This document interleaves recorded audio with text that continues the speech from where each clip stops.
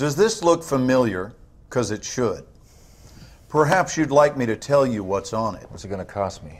Time's running out. Oh, I'll give it to you for free.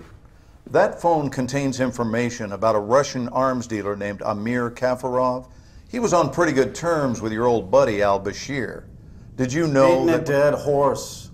I'm sorry, I didn't realize I was done speaking.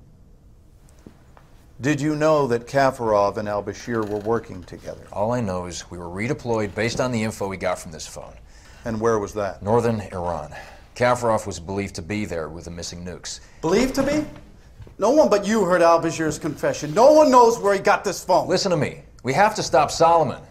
You took the phone call. You know he's here. That's all well and good, Sergeant, but we still need you to fill in the blanks. This next part is where you have a big credibility problem. Fine. Kaffarov had a villa in the Gilad Valley. We were headed there, but it got complicated.